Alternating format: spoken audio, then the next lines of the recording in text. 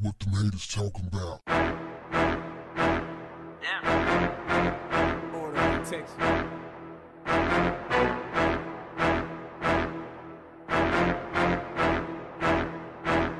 What's up, family?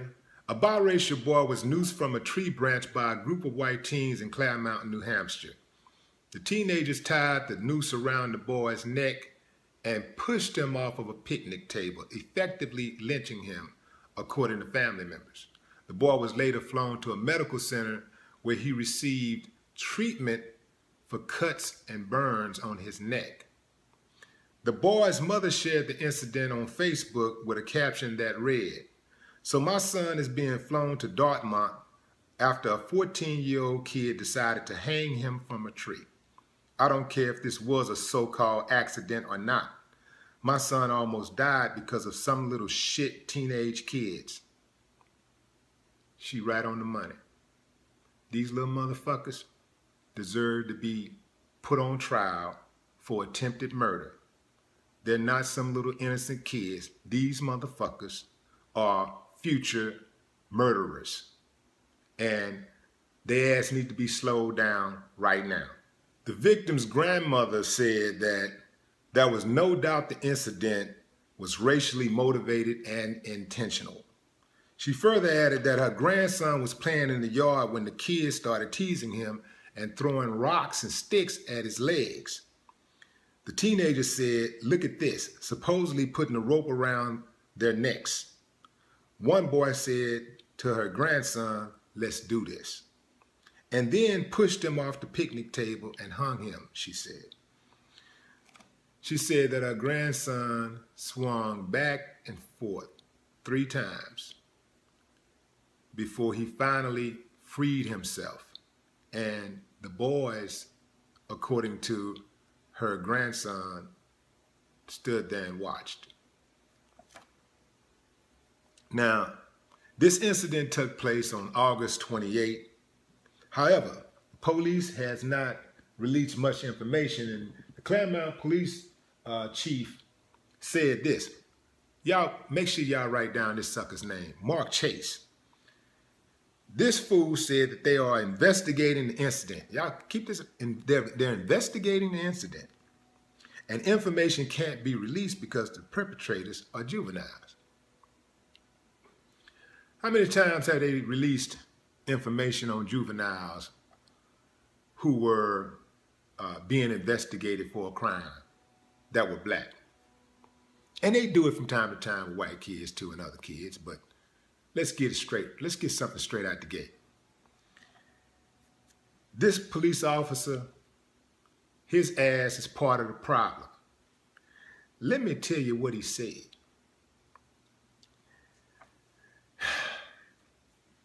Let me just say that he, he seems to be very concerned, but not for the victim, for the perpetrators. This is what he said. These people need to be protected. Mistakes they make as a young child should not have to follow them for the rest of their life. Let me tell you something, you ignorant, low down, backwoods, stanky ass fucker. Hanging a small child from a tree branch and watching him sway back and forth in the breeze. It's not a mistake.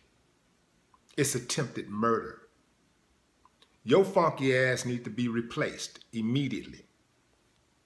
The KKK police chief also refused to comment on the fact that the incident was racially motivated, trying to sweep it under the rug. You can see these type coming from a mile away. Uh, we've investigated and we find no signs of racism. This is not a hate crime. It's, this ain't a hate crime. I don't know what is. You're taunting a kid with racial epithets. And you got a rope around your neck and you saying, look at this. And then you take him and put a rope around his neck and you push him off of a table and hang him. And you watch him struggle for his life. And you're laughing, you're enjoying it. It's a rush to you. And by the grace of God, he's able to free himself and save his own life. That's not a hate crime. It damn sure is not an accident. Federal authorities, I would say, need to come in, but the federal authorities are headed by Jeff Sessions. Man, let me tell you something. You're on your own. You're on your own out there. It ain't ain't no hope. You got a president who is a white supremacist. You got a attorney general who's a white supremacist. And they've laid down the law to law enforcement all over the country that it's cool to brutalize the citizens. And it's cool to, to gun down black people. We got you, baby. Take care of your business. Uh, and at the same time, if you do something to a cop, we got to come down on you because police is special. They're special citizens. Ain't that some shit? How in the hell is the police special? I don't get it. I see people get very, very emotional when something happened to cops, like a police get, officer get killed or something like that. People get real, real emotional. I don't. I don't feel nothing. I'm just like they do. Cause you know, just like they kill so many of us and they don't feel anything, I don't feel nothing. Nothing. I feel nothing. When they go down, their numbers are so few and far between, and they lose their mind when one of them die. Oh man, it's got to be 50 cops show up on the scene. They, people all on TV crying and all this shit. This what they do. But when a citizen is murdered by the police, it's no crying from the police. It's no sympathy. They just paid vacation and they going about their business. A guy who killed an officer in Houston. I think it, it, this the murder I think happened a year or two ago, something like that.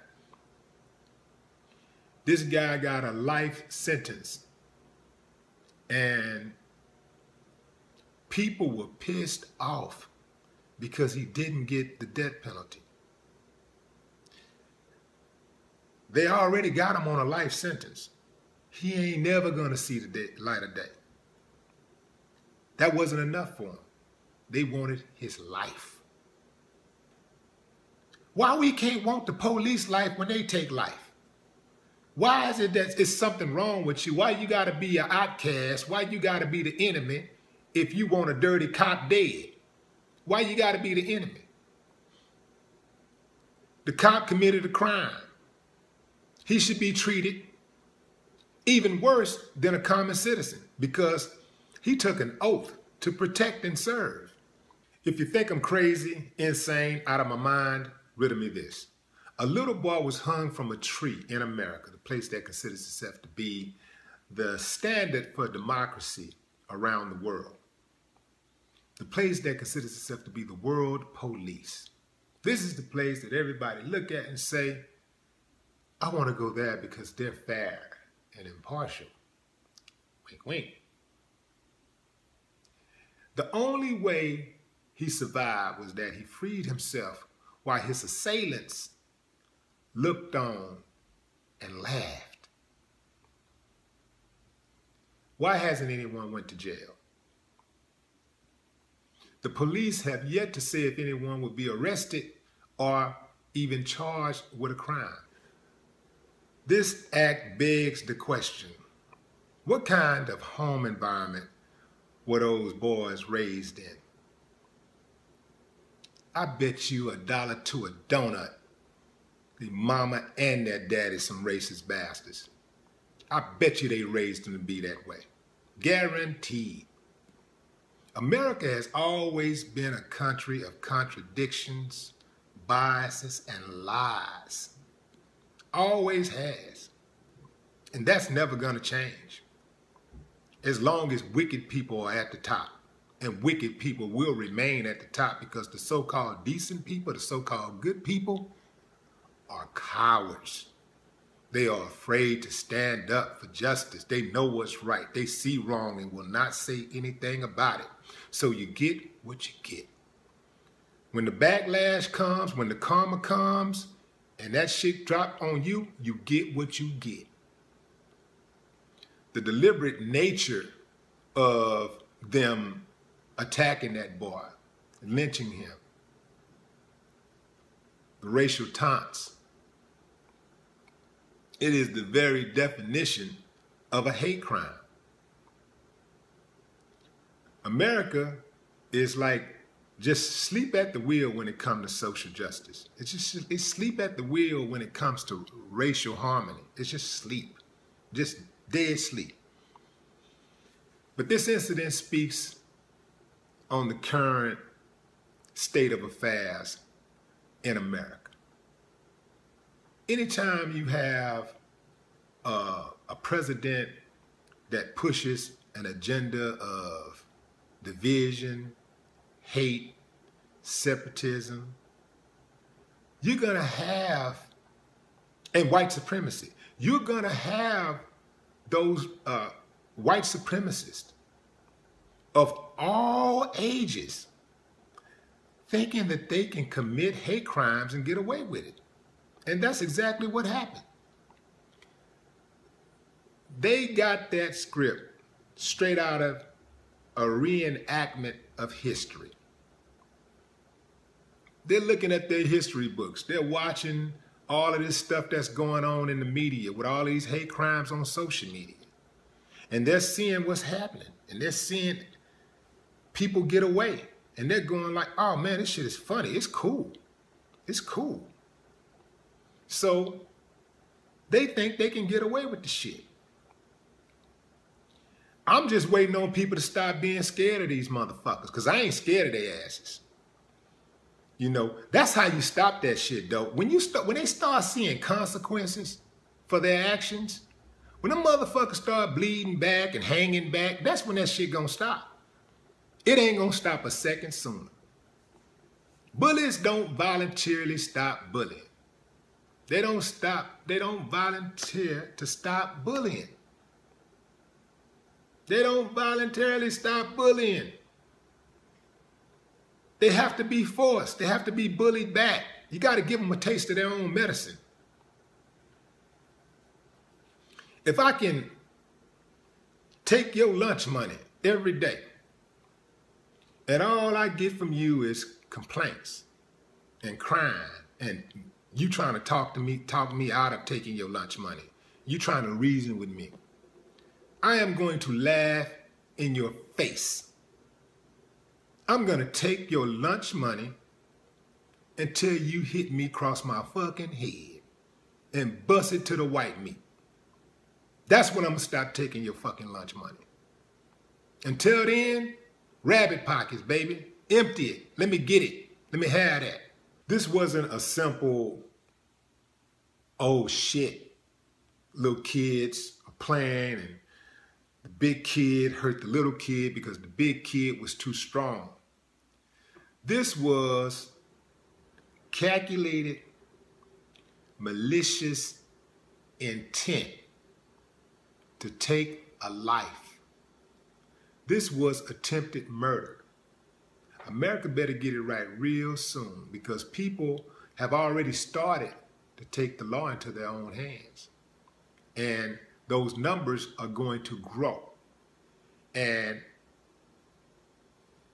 it's going to get to a point to where the police are not going to have any control. No control. I know y'all don't think that could happen because it hasn't happened. Because America's stupid like that. America's slow in the head like that. We gotta see shit. We don't think shit stink. We gotta go to the toilet and smell the shit. Oh, it do stink. We just, we hard headed like that. But I'm telling you, shit is out of control and it's gonna get worse. And if America stands any chance for people to get back to respecting her laws, just the citizens in America to respect the laws and have respect for authority, she better start cleaning this shit up real fast. Cause it's it's getting total it's out of hand. It's out of control. The police out of control, the citizens out of control. Better fix it real fast. Because we are on, right there on the cusp of being at the point of no return. No more talk. What, what the haters talking about? Order of protection.